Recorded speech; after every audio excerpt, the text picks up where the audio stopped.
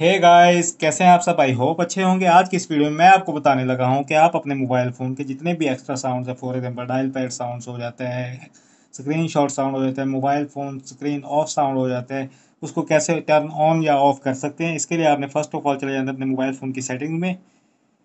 Setting में जाने के बाद हम थोड़ा सा स्क्रॉल डाउन करते हैं। इधर आपको ऑप्शन नज़र आए साउंड एंड वाइब्रेशन के नेम से, इस पर क्लिक करते हैं। स्क्रॉल डाउन करेंगे। हैप्टिक एंड साउंड्स इस पर क्लिक करेंगे। ये देखें इधर हमारे पास मल्टीपल ऑप्शन शोर and dial pad sound screenshot sound delete sound screen locking sound charging sound touch sound and haptic feedback अगर इनमें से आप किसी को भी ऑन या ऑफ़ करना चाहें तो इधर से आप इजीली कर सकते हैं। इसका दूसरा मेथड ये है कि आपने चले जाना है बैक फ़ोन के आइकन पे क्लिक करेंगे सेटिंग के आइकन पे क्लिक करेंगे। इधर हमारे पास ऑप्शन हो रहे साउंड एंड वाइब्रेशन का, इस पर क्लिक करेंगे।